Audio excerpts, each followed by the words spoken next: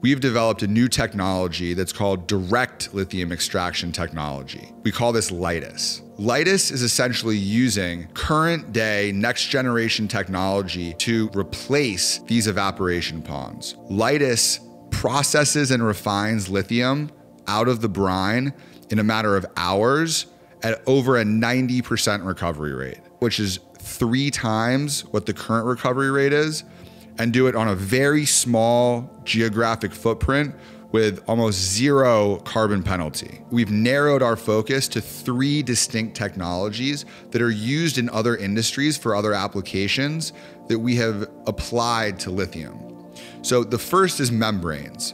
What our membranes do is they allow lithium to pass through the membranes, but reject the majority of the other salts. The second is solvent extraction.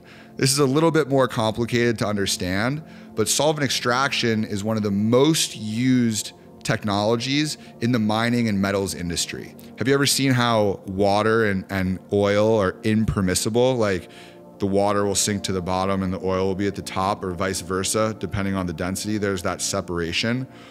Once the solvent molecule has grabbed the lithium, it goes into that phase separation. So now it's on its own and away from the rest of the brine. We can re inject that brine back into the aquifer to avoid disturbing the water table. And now we have that lithium that's separated from the rest of the composition. The third is adsorption. Adsorption, you can think about beads or little resins that almost act as a sponge. So you have a big column that's packed with these resins, and then you flow the brine through the column. And as the brine is going through the column, the, the beads that are packed into the column only grab lithium. So now you basically have this sponge that's completely saturated with lithium. You wash them with fresh water to then strip the lithium away from the beads.